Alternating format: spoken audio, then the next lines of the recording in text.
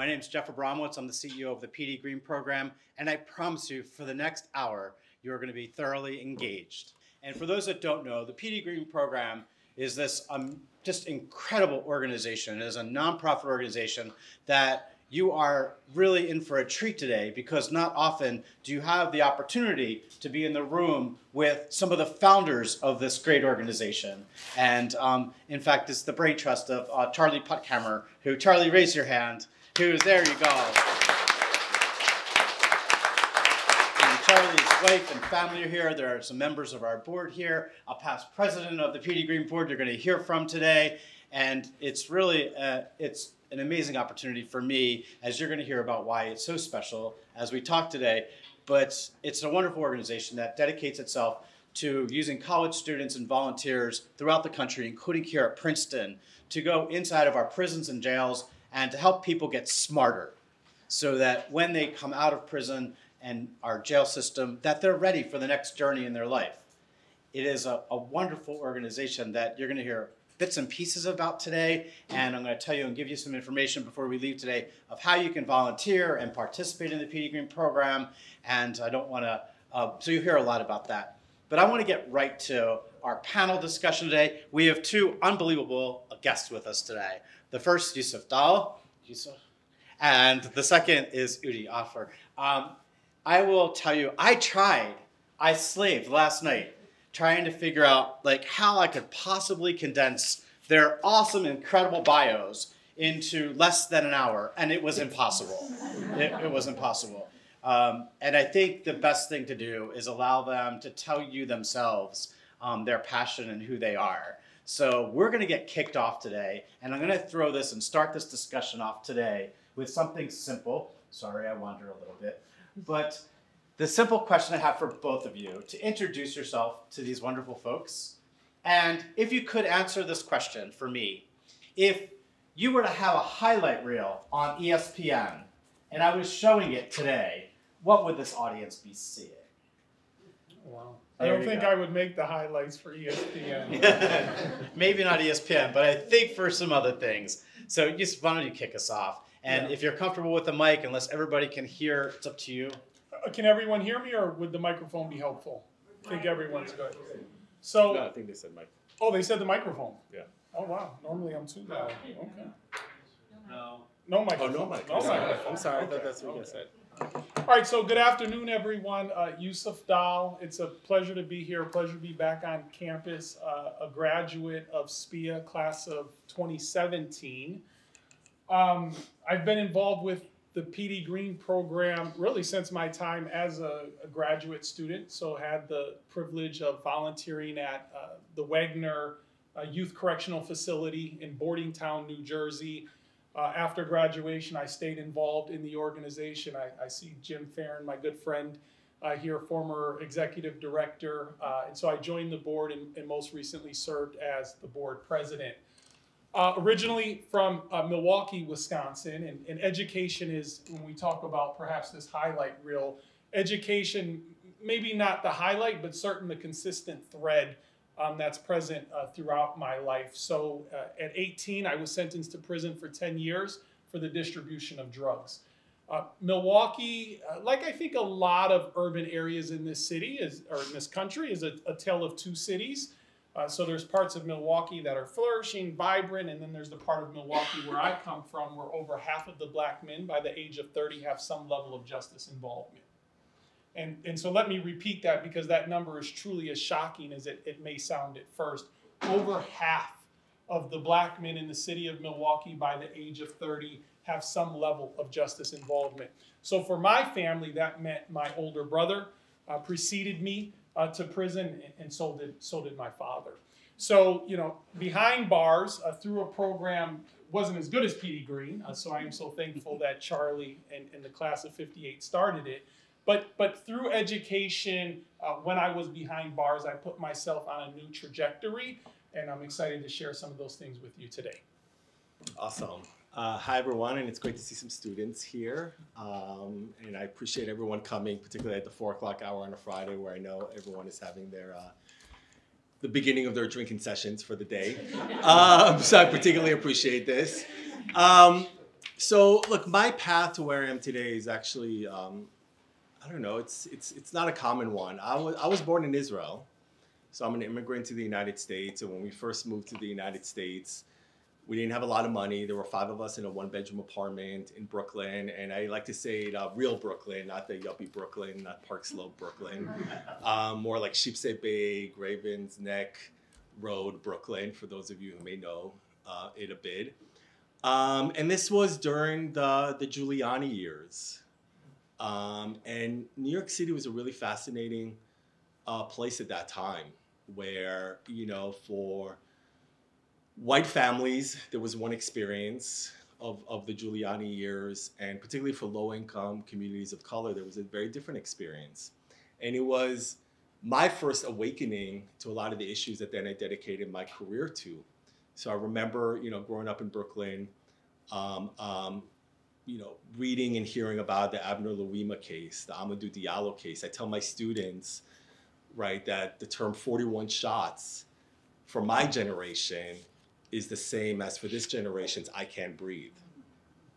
Right? Because I remember, you know, becoming involved in, you know, discussions and protests when Amadou Diallo was shot 41 times for going into his pocket to show his ID in response to a stop by the NYPD's Street Crimes Unit.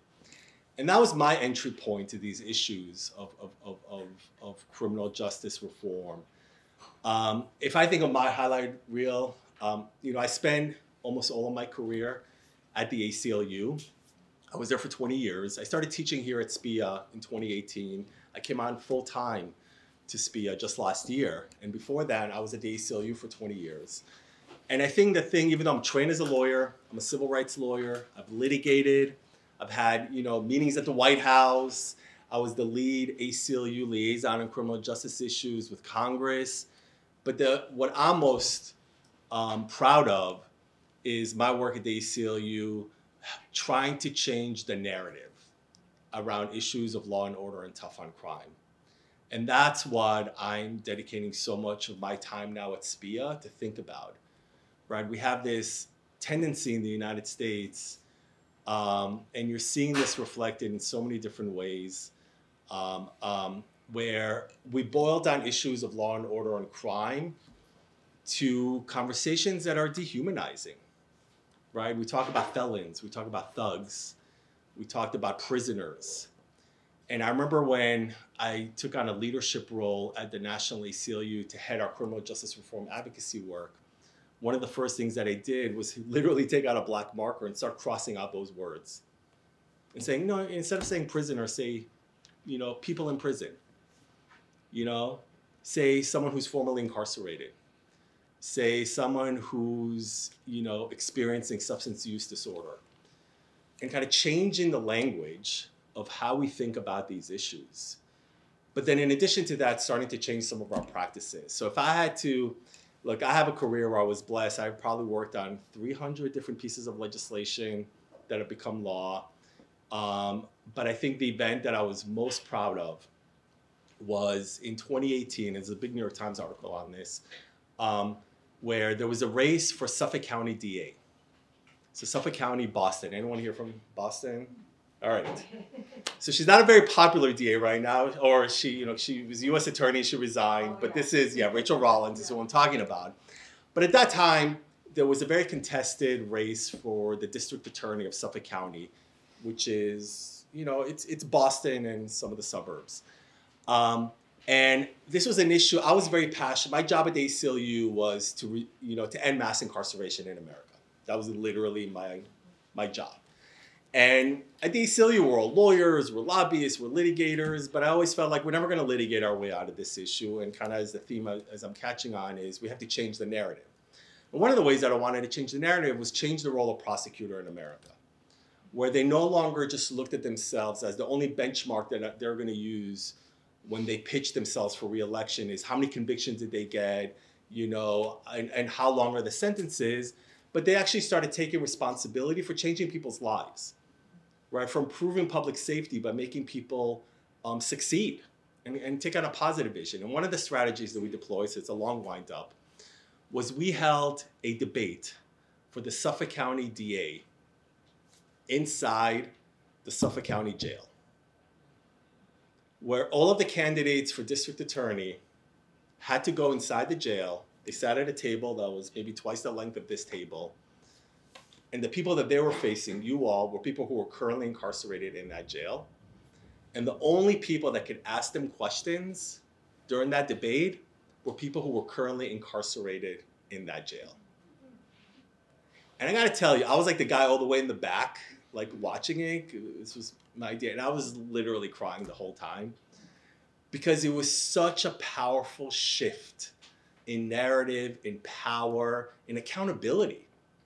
Where suddenly, when the district attorney candidates, right, and, and I think you, this is a sophisticated crowd, you know that district attorneys are the single most powerful actor in the criminal legal system. They get to decide who to prosecute, what to charge them with. You know, are they going to seek cash bail or not? Are they going to seek a, a habitual offender offense? Are they going to uh, charge you under a mandatory minimum law? They have so much discretion, right? 95% of all guilty verdicts in America come from a plea bargain. Right, this image that we all have of justice that comes from TV, right, of like two opposing sides, of like, but your honor, I'm not guilty, yes you are, you know, and it's like that doesn't happen. The way justice happens in America is in a hallway, behind closed doors, or in public. We're like, listen, assault the third. No, my, you know, he really deserves, you know, trespass. Okay, let's agree, like, you know, um, you know, trespass in the first degree, time served, done. Right? That, that's literally how most, the vast majority of cases are decided. This was a shift. Like, we were like, okay, no. When prosecutors are making these huge decisions, we want them to humanize the issue. So we had the candidates for DA debating cash bail, debating mandatory minimums, debating, you know, life sentences in front of the people who are going to face the consequences of decisions, and they had to explain it to them. And to me, that was like, wow moment. So that's not an ESPN reel. That's like the Super Bowl right there. that's like, yeah, that's huge. So I think we need to set some context, and there are a lot of things you just threw out there, and I think I think I think Yusuf is waiting. He just can't wait to jump jump on some of those. But I think we need to set the context. So I do believe a person without facts is just another person with an opinion. And I think we need to understand the, the nature of our justice system today. We have 2.1 million people incarcerated in our country today and about half of them, about half a million people, um, are there and have not been convicted yet. They're behind bars simply because they can't afford cash bail. We have a cash bail system. Uh, we should know about 600,000 people come back from our prisons and jails back into our communities every single year. About 600,000 people return. Now, we spend in our country $60 billion, $60 billion in this system, and yet within three to five years, two thirds of those men and women are going to be back behind the walls. So, in context, we spend $60 billion and we fail two thirds of the time. About 40,000 barriers exist for men and women as they come home from um, incarceration that exist. And that results in approximately a 27% unemployment rate for men and women that are entering the workforce. Put that in perspective, that's higher than the peak of the Great Depression. Yet, just taking one class, just one class inside of a prison or jail, can reduce the recidivism rate by 43%. Just one class. So those are the facts in the context of today. And I think we have a lot of um, we have a lot of guests here today, and I want to throw this first uh, to Yusuf. Um, why should we care? Why should we care? Why advocate for change in the criminal justice system? Um, well, I, I think the simple answer is because it affects all of us. Um, incarceration or justice involvement has become so ubiquitous um, that we all know somebody, we have some proximity uh, to somebody who has uh, had an impact or an interaction with the, the criminal legal system.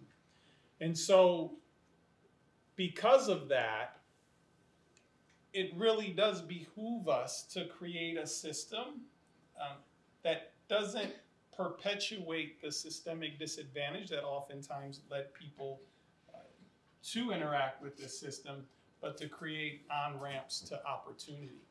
Because, like you said, the vast majority of people who are incarcerated come home. Like, that's just the reality of it. So when I was sentenced to prison when I was 18 years old, I knew I was going to have a chance to come home and do something with my life. So I was released at 23. And it's really just a, an, an option we have as a country. Are we going to use that justice involvement as an opportunity to rehabilitate an individual and provide opportunity, or is it all about retribution and perpetuation of the very factors that led to that outcome to begin with? So I want to take us a step further because in the in your work, you know, I mentioned the over forty thousand barriers Mm-hmm. that affect people coming home, and it's everything from getting transportation, a driver's license, to identification, to Mhm. uh, housing, to food, shelter, you name it. There's Mm-hmm. so many of these barriers, and many of them uh, re- relate to employment. Um, in your work, particular, Yusuf, you've done some amazing work. Can you share with us um, one of the challenges that you work directly with, and some of the things that you're doing to try and fix some of that? Yeah, so another thread of my life has been housing. Um, so when I was released from prison in 2003, shortly thereafter, I had a fortuitous encounter with a, a, a guy who I was trying to rent a property from. And, you know, he showed me a bunch of properties, and I said, Well, wow, you must really, you know, be doing well in this business. And he said, Yes, real estate is, is great. Everyone should do it. You should do it. And I said, Well, there's two problems. I said, One, I don't know anything about real estate. Like at the time, I didn't even know what caulk was, just to give you some context. um, and, and, I, and I had no money. And this guy, if you met him, he was one of these individuals you could just tell there was something about him, right? He was really smart, he was really resourceful, and just because he did it didn't mean you could necessarily do it. So, about two months later, he sent his brother over to collect his rent, and there were two things that, that stood out about that encounter. One, his brother was nothing like him. There was nothing exceptional about his brother. and two, his brother drove a Lexus. And I said, well, if his brother can do it, hell, I know I can do it. and so I started a uh, property management and development firm and grew to 200 units of affordable housing in the city of Milwaukee.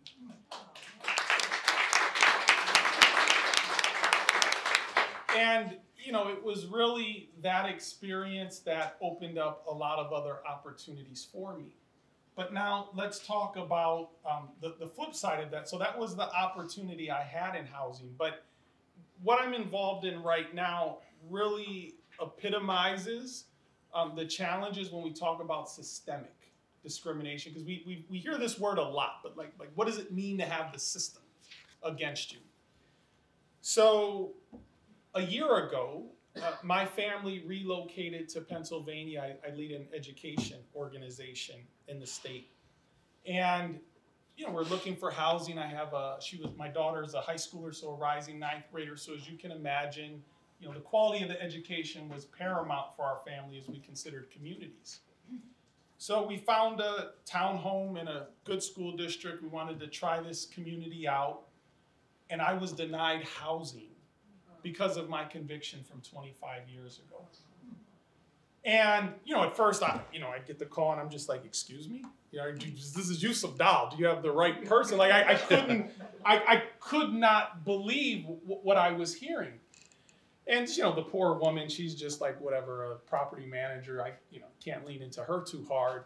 But as I, I did my research, it turns out there is an amendment to the 1988 Fair Housing Amendments Act introduced by a senator from South Carolina named Strom Thurmond. And mm-hmm. folks in this room, I, I think, know about his legacy and, and, and his agenda. And so, what this piece of legislation does, which is still the law of the land today, is it permanently excludes fair housing protections for anyone with a drug distribution conviction. And so, it doesn't matter that in the ensuing 25 years, I've created jobs, I've created opportunities, I've created housing. It doesn't matter that I've graduated from Princeton. Nothing matters other than the fact that 25 years ago, when I was 18 years old, I made a poor decision. And what really motivated me to take this issue on, so I, I, I wrote an op-ed in the Washington Post, and I'm currently featured in a Vice documentary. So if anyone got Paramount Plus, uh, you can learn more about this issue. Maybe Petey Greene will do a screening at some point. Sure. But but what really made me decide to change this issue is when I looked at my daughter. Because at the end of the day, excluding me from a particular neighborhood really didn't matter. I prefer to live in a more urban, dense area. The food is better, walkability is better. But the fact is, it now limited the educational opportunities that my daughter had. And so our family was fortunate where we were able to enroll her in an independent school. But all I could think about are those individuals and families that did not have the resources that we had. And so if you don't give children access to opportunities and communities that foster opportunity, what's going to be the outcome? Ouch, he could just drop the mic there. So uh, that was, yeah. Um, so I'm throwing it over to you um, because you know, I'm curious from your perspective. You work with students all the time. You've worked in the ACLU. The challenges that you see uh, people facing as they come home and the work that Yeah. you've done. What would you say those big barriers are that we should kind of all be aware of? So I'll preface this by saying that, and I said this this morning, I believe in, I'm a big Ted Lasso fan, and I, I think that we should all be curious, not judgmental. It's a great line that, that was quoted in there. But I'm curious, I think we're all curious. Like, Yeah. what, what questions should we be asking? What are those barriers that, that you've worked through, that you work through with your students here, that we should be addressing, we should all be aware of? So I have so many answers, but I'm not gonna actually give any of them because I'm, I'm trying something new, and you guys are a bit of an experiment, and you have the privilege of now hearing from a professor who's like deep in the weeds on this issue and thinking of new ways to tackle it. Right. One of the one of the things that I'm dedicating my academic career to is how do you defeat tough on crime politics? Defeat what? Tough on crime politics, which is a term that we use to describe when candidates run for office. Most most candidates think in 30 second sound bites, right? Um, and what images do they decide to show? What talking point do they decide to give? And what impact that has on policymaking? Because it's, uh, let me give you just a bit of background, right? Because the reason we have 2 million people incarcerated in America right now, right? The reason that the US is the large, well, actually, we're no longer the largest incarcerator in the world. Now I think we're number three. Um, but we're still by far the biggest when compared to Western industrialized countries. I mean, we have like 10 times to 15 times the rate of incarceration than places like Germany or Australia or Canada, right? But but but but what has been well documented is what the one of the primary reasons this ha- happened is not because crime went up. In fact, crime in this country has been steadily decreasing, including over the last two years, which did go up. And it's very important to recognize that because that has real world impact, but it's still at relatively historic lows. I mean, when I was growing up in New York City, there were 2,000 murders a year in New York City. That was the peak, which was, um, I'm pretty sure that was 1989 or 1990 was the peak. New York City last year, even though Fox News, you know, their narrative is you can't walk in New York City without getting shot and killed, because homicides did go up over the last two years. I think last year was 400 murders.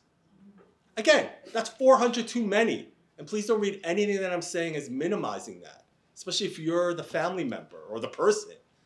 And it is, it did represent a spike, but it is way, way, way, way below from what it was at its height. Yet that's not how it feels right now.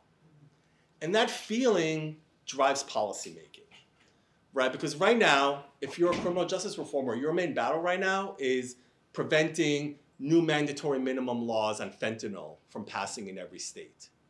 You know, we have the president of the United States, Joe Biden, tweeting about a month ago about carjacking in DC. That was a tweet that he sent. Why? Because DC went through a democratic process where they overhauled their penal code. And part of that overhaul was reducing the mandatory minimums on carjacking from, I think, 18 years to 15 years. that I'm, I'm not even exaggerating here. It was still a mandatory minimum, and it was still egregious when compared to any other industrialized nation. And the president of the United States tweeted about that, saying we cannot be soft on crime. You know, we can't. So, And he vetoed. Or actually, he signed into law Congress passing a veto, an overrule of the DC package. Why? Because the politics right now don't align with that policy. Everything that Yusuf said is so reasonable. It's so correct. It is accurate. Yet I believe that doesn't matter.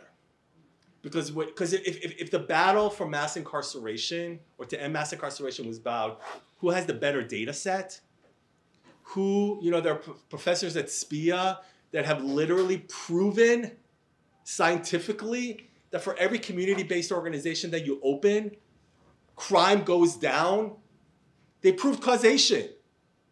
Yet it doesn't matter because the politics don't align. So my whole thinking is how do we change the politics?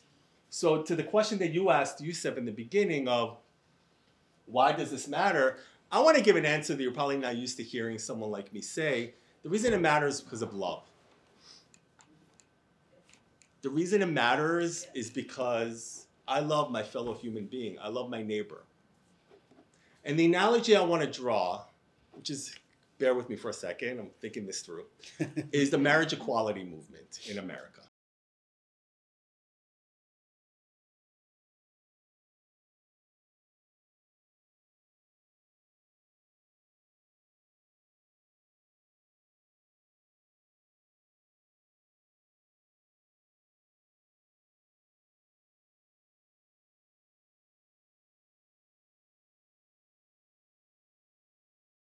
Lawyer. I love equality. We're all we're printed. We love equality.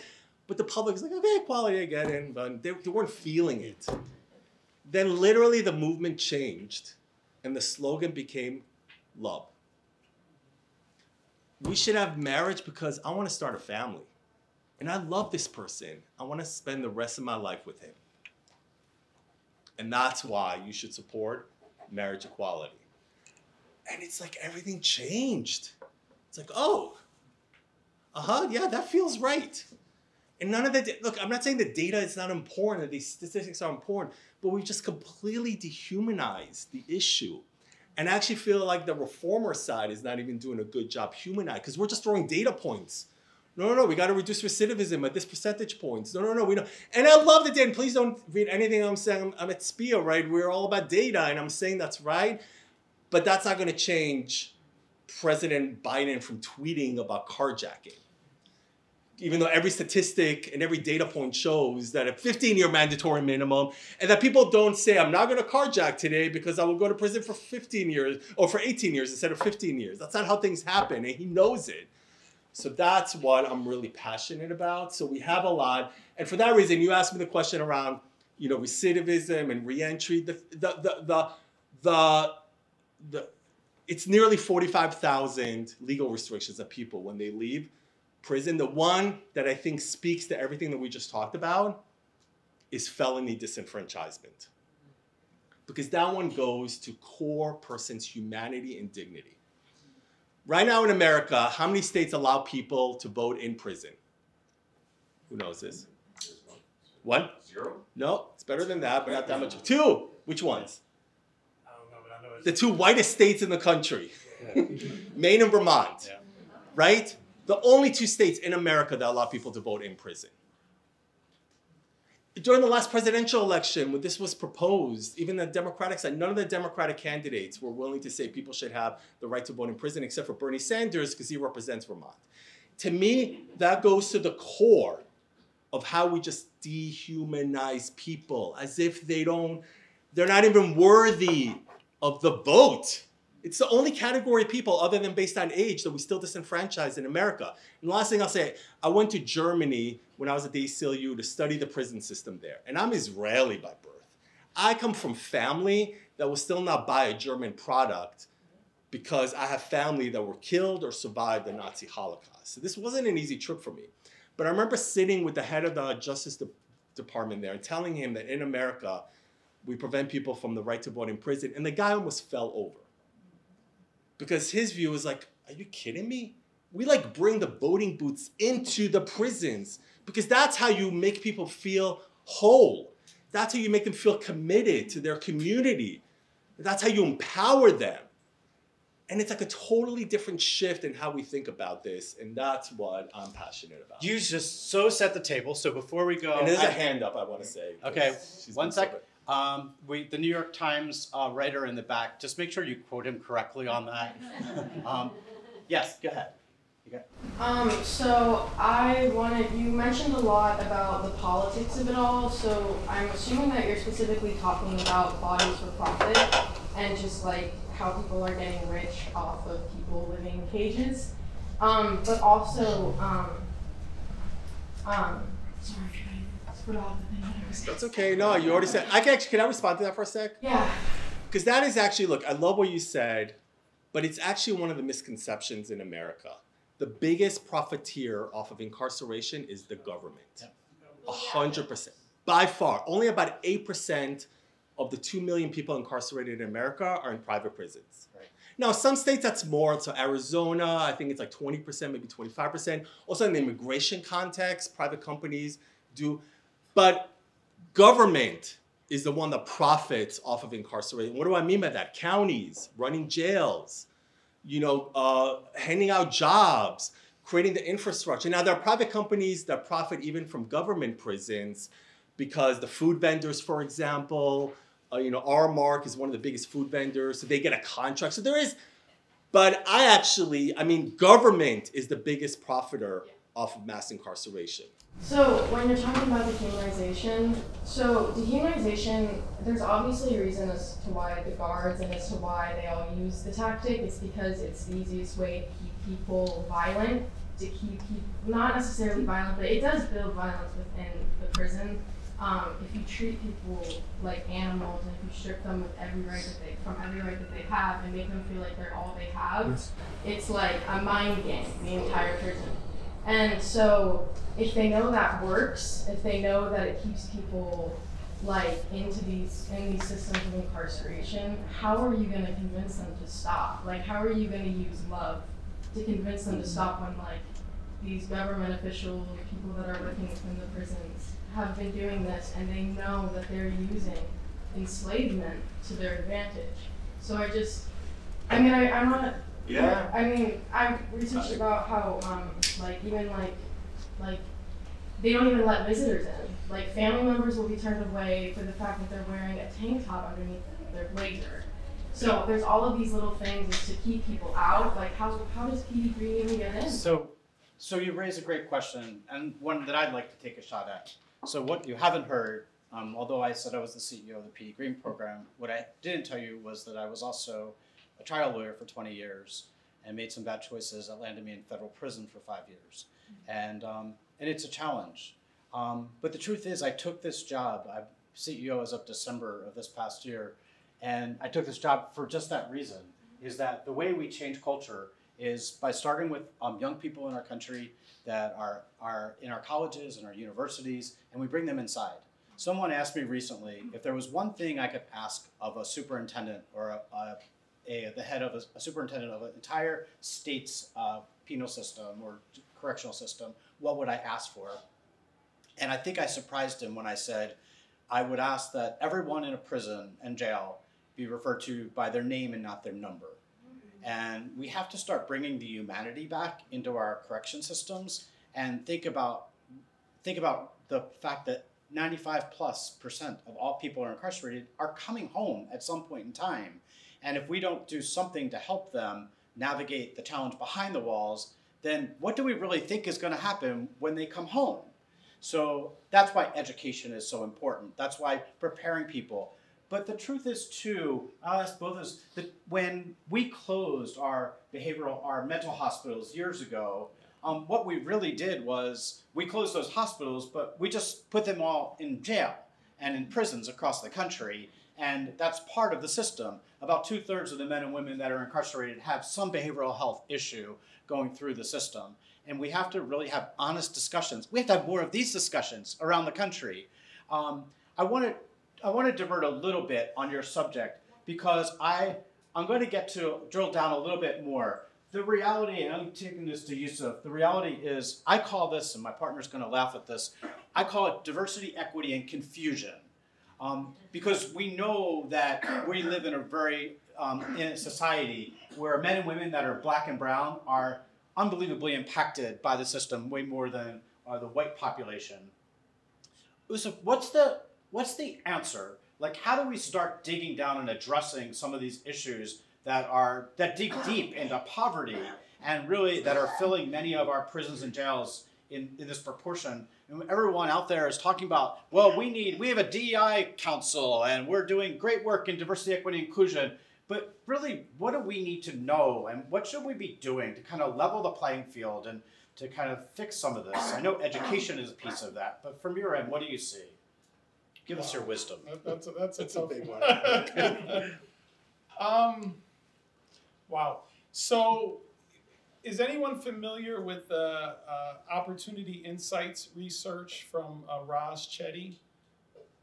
Okay, so basically what he did is he looked at anonymized tax records across the country over, you know, 50 years. And he's able to show um, outcomes, and these can be outcomes related to education, income, incarceration, based off the poverty level or the resources available in your household when you were a child. And so it's fascinating research, and, and but it's not going to surprise any of us to know that if you were born in a low income community, you have a significantly higher chance of being incarcerated when you grow up. You have a significantly higher uh, chance of not completing college or you know any of the other predictors of upward socioeconomic mobility.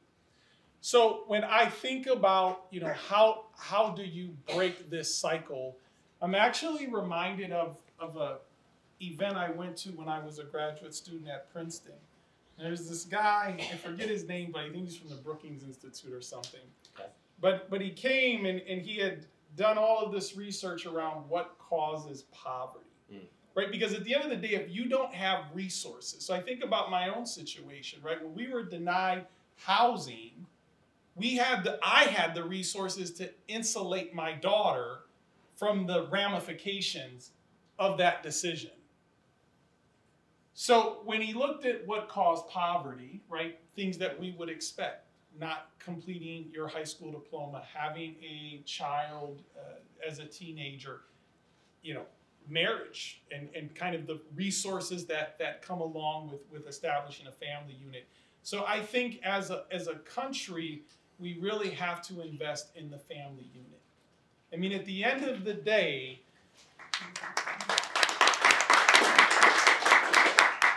at the end of the day, when we think about the, the, the transmitting of, of the values and the behaviors that are going to help someone achieve success in this country, when we think about resiliency, when we think about education, when we think about work ethic, when we think about these things, there is no entity that's going to be more efficient at delivering that than the family unit. It's great that we have these community organizations. We should continue to invest in these types of things. But at the end of the day, if we do not strengthen the family unit, I think we're going to continue to have these really disheartening outcomes. So, I we have we have about fifteen or twenty minutes left, That's and a question. Darnell. No, I, I appreciate you saying that. I hope you don't mind me sharing this. I'm from inner city Chicago, born and raised. Are you from the north side of Milwaukee? Yes. See, I already know, right? so, um, we can talk about that afterwards, right? Um, I'm, I- I'm the only one in my community for about three blocks. My parents were married 45 years, both sets of grandparents over 60 years. My sister and I were the only two in my community to go to college. And so when you said that, it significantly impacts. And when my father passed, we started Boy Scout troop and basketball. There were 700 people that came to his funeral, all the way from the, the, the drugs on the street to, to people he had impacted through the years. And the, the consistent thread was, you saved my life because you showed me family. So I just wanted to share that. that I think Awesome. Thanks for sharing. And I gotta say, this is so. So uh, when I was at the ACLU, one of the weirdest experiences I had was we actually worked a lot with conservative Republican organizations on criminal justice reform. Like a person I'm very close to right now is the general counsel of the American Conservative Union.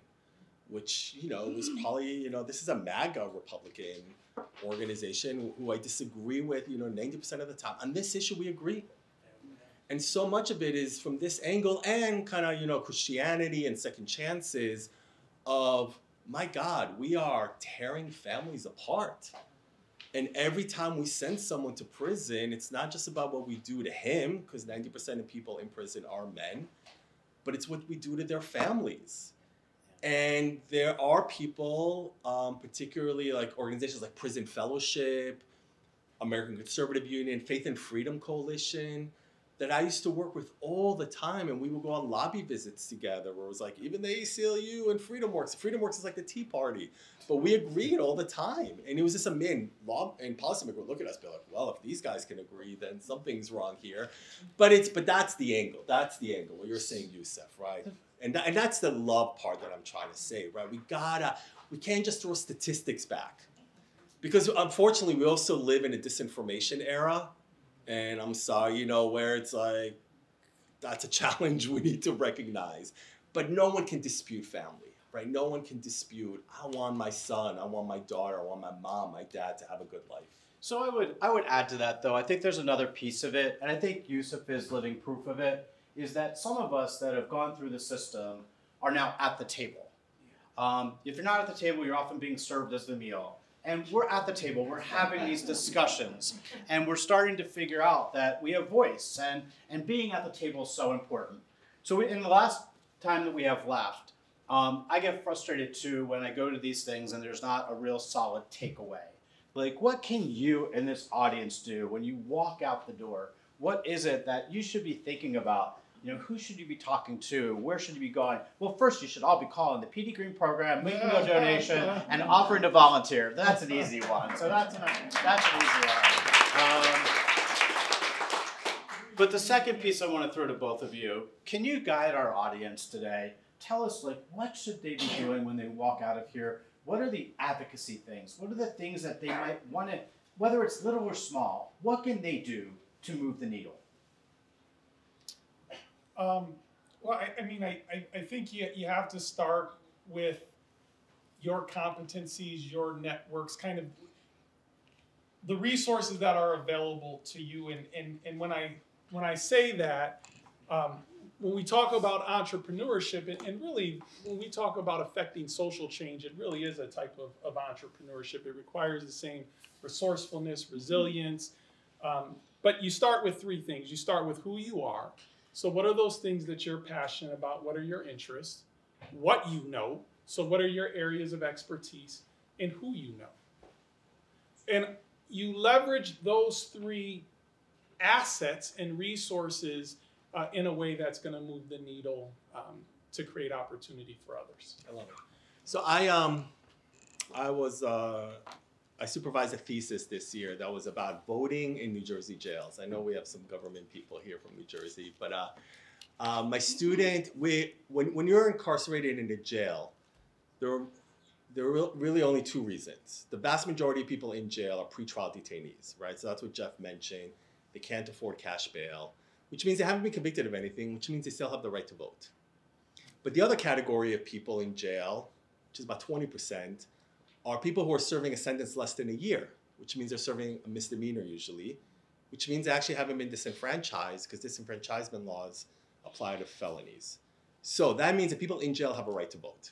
So my student, um, Ella Gantman, who's graduating this year, um, decided to focus on in New Jersey, are people actually able to exercise their right to vote in, in jails in New Jersey? And she proved it basically that basically no. She and, and she did she did 106 public records requests, whatever. But one of the things that's most fascinating about her thesis is that she looked at programs like in Cook County, Chicago, and we had uh, the gentleman. I think he left. Yeah, Cook County's. Yeah, uh, Cook County is one of the few jails in America right now where they bring the voting booths inside the jail, and people in jail, and you see the voting participation like skyrocket the people who make these types of decisions are almost always your local board of elections. It is as hyper local as it gets. It is your local, you know, person, you know, jail warden, which is usually run by the county, which usually, you know, the people who are elected to be the county executive or who are elected on a county council or city council usually run in elections that aren't contested. There's literally an election here in Princeton on June 6th. I live in Princeton. There's an election here on June 6th. Not a single one of the of, of, of the offices is contested. Not a single one. Meanwhile, my daughter's school's are gonna close, so everyone could go vote. But local elections are the most low propensity races, eh, the most low voter, voter turnout races. They tend to have participation like 15% of eligible voters. That is where you could have the most impact. Like literally, get to know your jail. Get to know are people voting in your jail? Convince your local officials to actually, when they are running for office, part of your constituency is actually people who are incarcerated in the jail. Did you go and also meet with them? They're part of your constituency. In fact, most county, you know, city budgets tend to go about, I don't know, 25% to your to your police. State budgets, prisons, jails, and police are a huge part of your state budget. Yet your policymakers don't feel accountable at all to that. Change that. No, I guarantee you, no matter where you live in America, your jail is being neglected. There are people in there who are being neglected. They're invisible. Make them visible. And I could talk about all the different ways you could do that. No, so you raise a really good point. We saw this in Philadelphia recently, where we had a, actually in Pennsylvania and in Philadelphia in the city, but we saw a governor's race where um, actually the the vote uh, for our current governor uh, was driven by men and women that were black and brown in some of our most democratic parts of Philadelphia and Allegheny County uh, that drove it. And, and so I think voting is part of it. Um, I wonder too how much we should be um, thinking about those that are coming home. And the one suggestion I would have for all of you, and we're going to open up for questions, get thinking, um, is this. You know, we have 600,000 plus people come home every year. Um, when was the last time that you knew or heard of someone that was coming home and did something really small, like say, welcome home? Or what is it that you might need? Or how can we help you? or you know maybe I might have a job lead for you. Um, I can help you with your resume. Um, little things. It's the little things, and I often give advice on on justice issues and reentry and people coming home. And the one thing I always say is assume nothing. Assume nothing when people come home. You have men and women sometimes that have been down for 10, 20, 30 years. Um, I was with a gentleman the other night who had been down 30 years. This is long before Google didn't even exist at the time and he came out and was tasked with getting an iPhone, communicating with his parole officer, and understanding how to. Um, he didn't know what a debit card was, couldn't get a bank account, had never had a bank account actually. Um, all these really basic challenges that people coming home face all the time.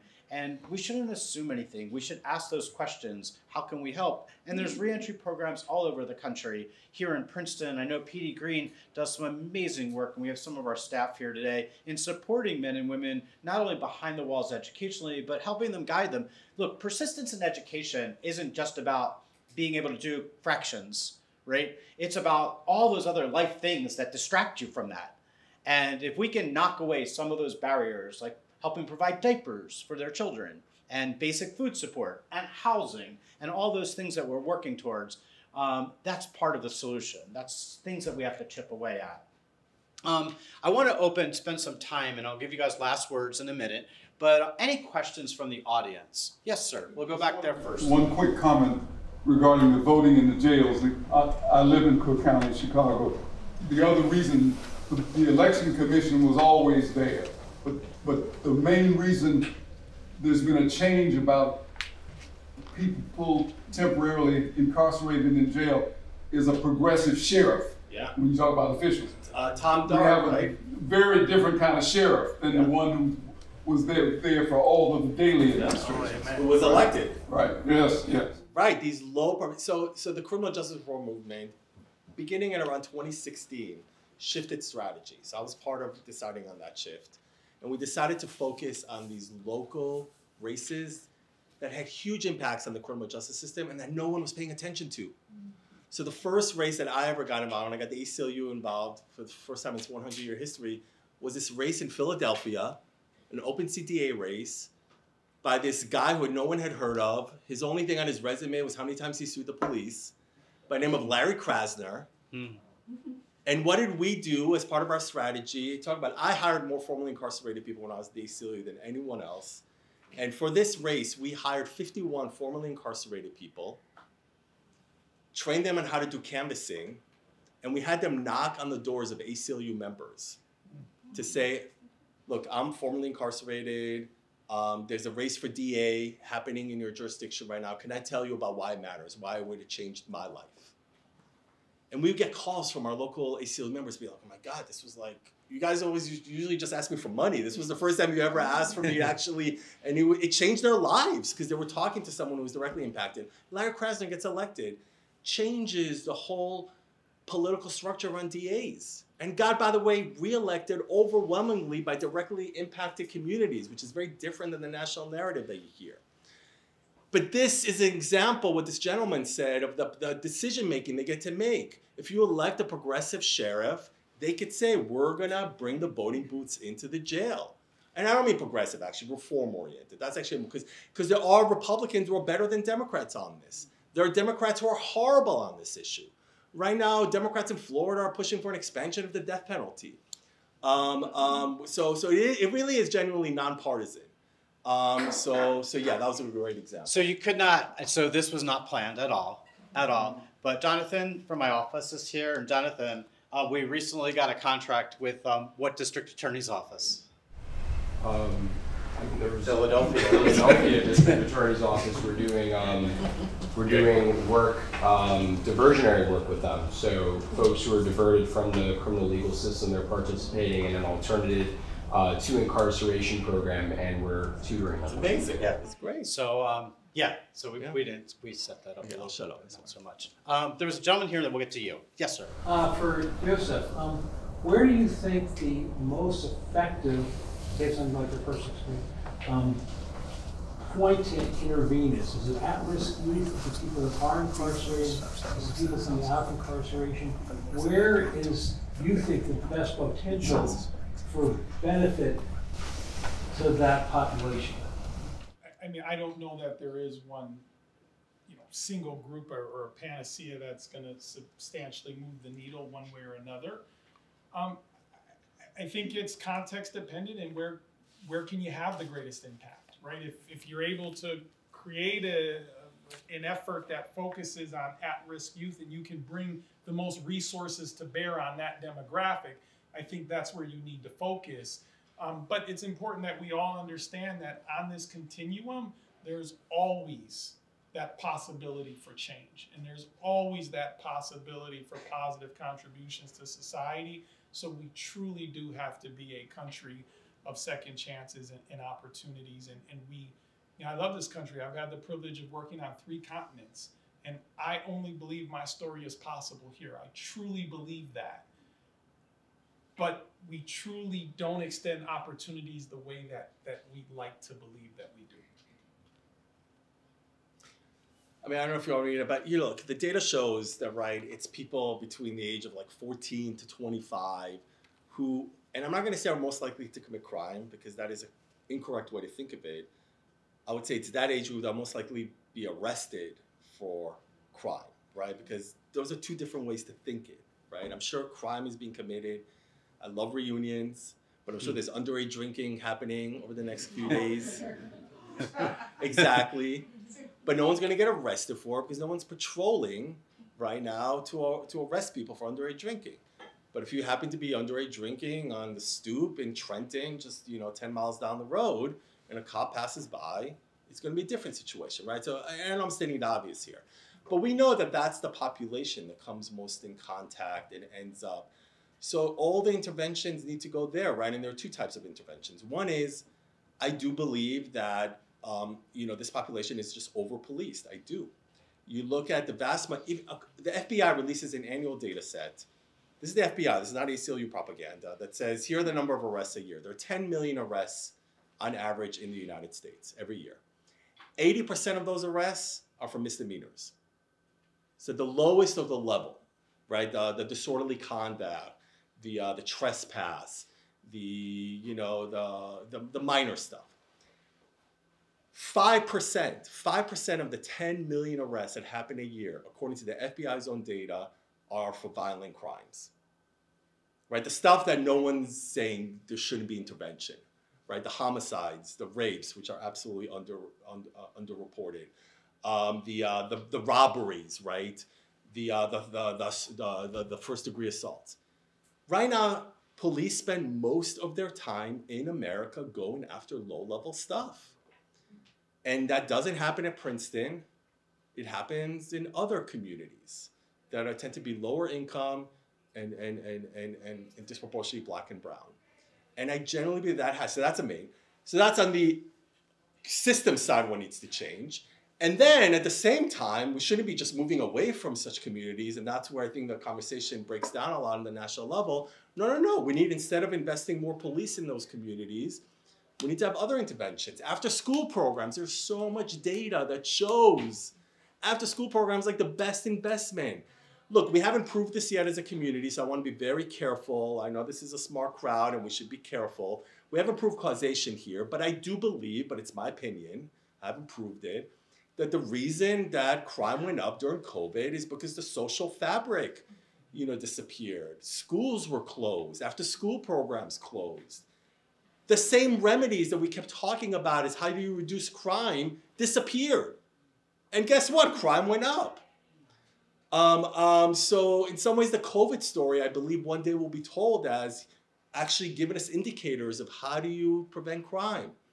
You know, New York City became so much safer as a city because we invested, you know, in a more of a social safety net. So I think that is the population, and it's mo both like stopping so that po- so much of the police ability, including the schools, um, and but but but putting something else in there, other support services, better schools, better after school programs. And I would just add to that diversion. if you can keep people yeah. out of the system, well, that's a long, far way to go. have to Yeah. handle forever. Yeah, so this uh, is directed primarily towards Yusuf uh, and not continuing some of the discussions we've had about family. Um, but your story speaks so much to me. Uh, my family, a lot of them are from Milwaukee.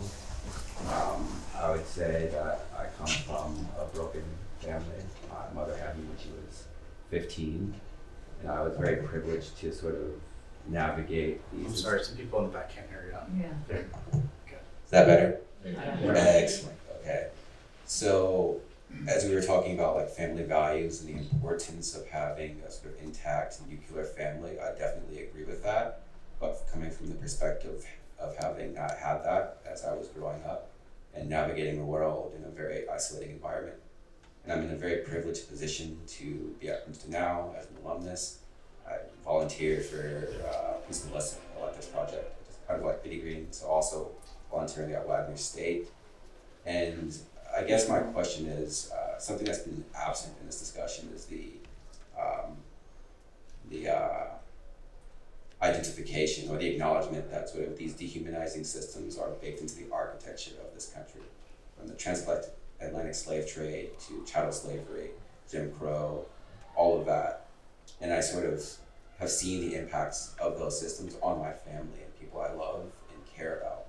And even though I have this privilege to sit here and say these things, I still have this intense loss from that.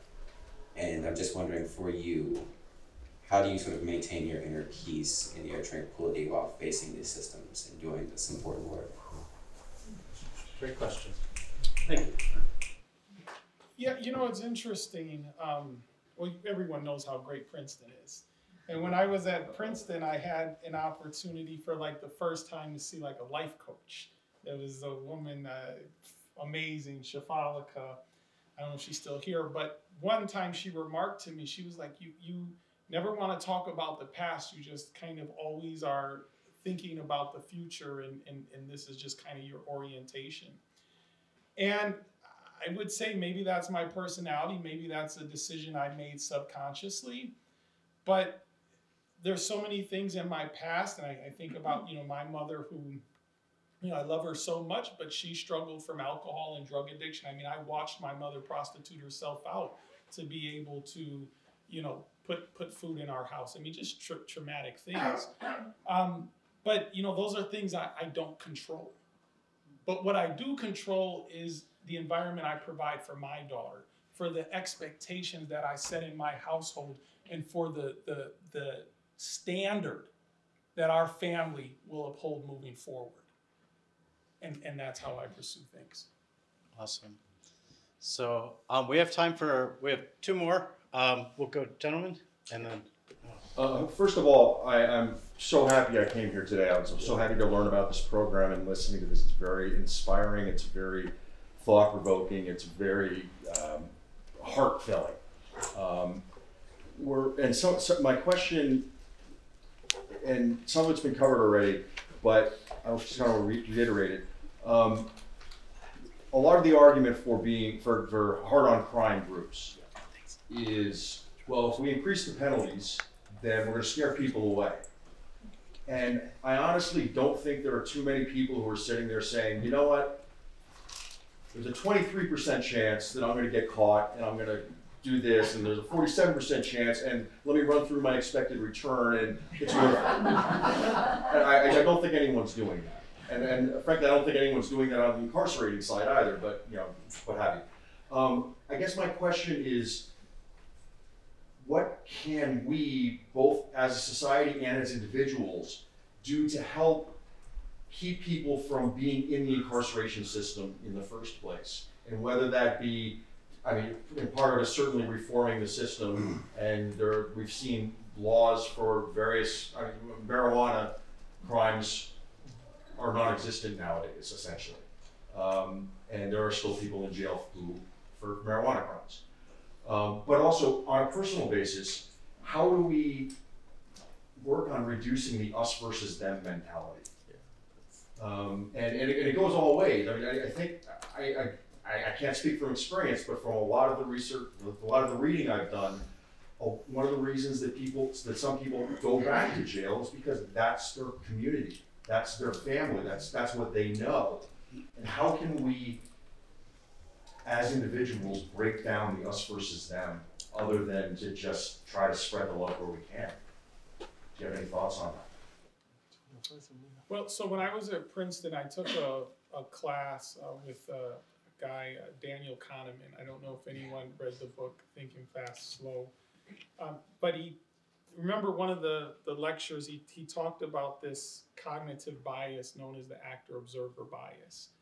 And, and basically, what that means is when somebody does something or something happens to somebody that we identify with, we associate that to factors outside of their control, right? So, you know, our cousin, you know, gets into uh, an encounter with the criminal legal system, oh, poor Tommy, you know, he had a hard shake it life, you know, his dad disappeared, blah, blah, blah.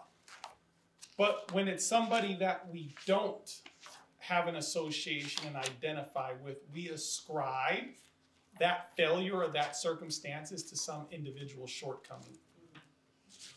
You know, that person is just, you know, he's always been troubled. You know, there's something wrong with them. And, and so I, I do think that that is a deficiency in, in the way that we approach things. And, you know, if, if we truly could empathize with each other, um, I, I, I think we would approach things Yeah. differently.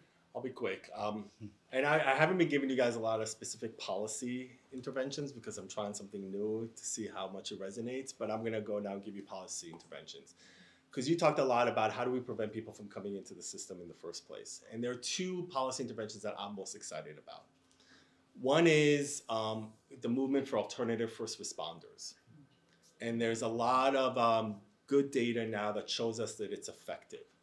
So the vast majority of 911 calls in America are to things that I think most people would argue actually don't need the police. The police, the way we've structured our society, they're our first responders. I mean, they're the ones. And by the way, you'll hear this from police. A lot of times they get involved in choice they don't want to. Right? Most 911 calls have to do with like a, you know, a local disturbance that's not really a crime, or people experiencing mental health breakdown, or suffering from substance use disorder. Uh, there's a lot of experimentation happening right now in America around having alternative first responders. The most prominent one is out of Eugene, Oregon, program called the Cahoots program that's actually been in place for about 10 years at this point. They respond to about 20,000 calls a year where people are still calling 911, but the dispatchers are trained to say, no, no, no, that doesn't need the police. We're going to call. And they get involved when it's someone who's, who's experiencing a mental health breakdown, where they're yelling and sound completely unreasonable. But you know what? They need someone to calm them down. They need someone who's a violence interruptionist. They need someone who's actually trained in social work, not carrying a badge and a gun. Because you know what? If you're a cop being put in that situation, which by the way, many of them don't want to be put in that situation, well, what if he pushes you? Well, you just assaulted a police officer. Are you kidding me? So there's a lot of experimentation happening now in that area, and it's proving to be successful. So that's one. The other area, it's a bit more controversial, and there's a backlash to it. Remember how I told you there are 10 million arrests a year in the US? That half a million are for all violent offenses combined. Guess what is the number one arrest in America year after year after year? Yes. And how many? And how many arrests a year? If a half a million for all violent crimes combined, one and a half million a year are for drug possession. So there are literally triple the amount of arrests every single year for drug possession. I'm not talking about distribution, I'm not talking about manufacturing, I'm talking about possession. That is the that is police spend most of their time arresting people, or the police spend the most of their time, not most, the most of their time, proportionally arresting people for drug possession. And not for marijuana anymore. That's a lot less. But for serious drugs, and I'm not disputing it, you know, we have a fentanyl crisis, we have an opioid crisis. That is what police is spending their time on right now and taking these folks to jail. And I think it's the biggest waste of money and it destroys people's lives and it destroys families. So there's one state in America that I was very involved in that effort that has decriminalized drug possession. Who knows what that is? Oregon. Oregon. Oregon. It's Oregon. the only state. It decriminalized drug possession. It was a ballot initiative in 2020. Doesn't mean you could still carry drugs, it's just not a crime. And we were at the cusp, we were going to start running these campaigns in other places like Washington State, Colorado, Maine, but we're facing such a backlash right now on drug issues that this is, but I do believe that when you all come back to reunion in, in I want to say in 10 years, that's optimistic, but certainly in 20 years, we're going to be living in a nation that if advocates do their job right, most states will have decriminalized drug possession, and that will dramatically reduce the number of people going into jail. Thank you. So, um, Noah, you're a good friend. Um, do you have a really quick one? Maybe. Well, thank you, Jeff, and uh, to all the panelists. It's just uh, been a fantastic panel so far. My question is coming back to the concept of uh, the public perceptions and how you get the story out and change the narrative. And I think um, you know, almost all of us today would say physical torture, you know, being drawn and is not an acceptable form of punishment. But the status quo we're all coming back to is that, yes, it's acceptable for the state to put someone in a cage for almost every time. It doesn't matter what. And so I'm just wondering, how do you get beyond that concept? And, you know, I, the ethics don't seem to really jive with me, you know, but I don't necessarily know. Uh, So this is what I want to write my book on. So it's perfect. But uh, look, you live in Chicago. Brandon Johnson just won in Chicago. I know I'm- it's chief person that got elected. There you go. So I actually think you you you're the one. I actually think Brandon Johnson provides a roadmap for how you could address this because that election was hundred percent about tough on crime. It was about who could be more. But yet, I thought the way Brian, maybe you were responsible for that. The way No, he no, no, talked. no. I'm from Chicago. I don't live there anymore. So, Okay. But I, Yeah. I But I thought the way he messaged his campaign, talking about these issues, it was a way that didn't minimize the problem, which I think the left tends to do a lot, which is a problem right there. But it, it took it head on and it said, you know what? Yes, police play a role. I'm not saying they don't, but we are not going to arrest our way out of a violence problem. And he talked about his experience being a teacher. He talked about growing up in communities that are most impacted by violence. And he talked about here's a smarter way to do it. And all the media, when, when Lightfoot lost, you know, the, the primary or didn't qualify, the, all the media was like, here we go, it's gonna be a tough on crime election. And Vallas, who was the opponent, was all about we need more cops, we need more police, we need to get these thugs off the street. And he lost hmm. And no one expected him to lose, at least in the in the mainstream media. So I think Brandon Johnson, people like him who have the courage to just speak about this in a different way that is human centric. This is what I mean when I say. Now it's a mixed bag. We also had in Philadelphia, you know, a mayoral election that yes, the candidate who did take more of uh, she was never tough on crime, but it was more about that. So I'm not suggesting it's a perfect, but I do think we now have enough examples to show that there's a different way to do it that resonates with voters. Because at the end of the day, that is look, I look, I'm a lawyer, I'm a professor, but I actually do believe it's all about political narrative. It's all about how do people feel. And right now people feel unsafe. And, and, and, and the way we need to do it is we need to have people running for office who feel comfortable providing a different narrative. Because right now, I, I, deal with these campaigns, and they, they, there's no other way for they don't know how to talk about it. They're like, we need more police. That's how we make us safe. We need more prisons. That's how we make us safe. It's the only vocabulary that they have, and we need to have you know data to give them to show there's another way to talk about it. And I think Brandon, I, I, I think you know what just happened in Chicago is a roadmap. So he had to, I had to change his message though. As an organizer, he, he was saying defund the police, but once he got to be a a mayoral can, candidate against Vallas, he backed It's true. from that, Yeah. modified the, the It's true. language. It's true. I think defund the police was. So I, first of all, just a huge round of applause for our two guests.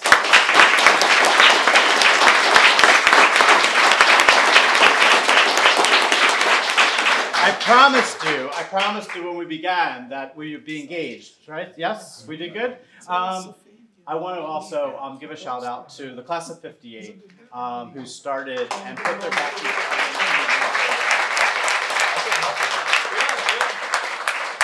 And also Charlie um, Puttkammer, who's this was all his brainstorm and wonderful idea. He said, if I'm coming from Seattle, then I need to do something really engaging. And Charlie, thank you so much for getting this on our radio.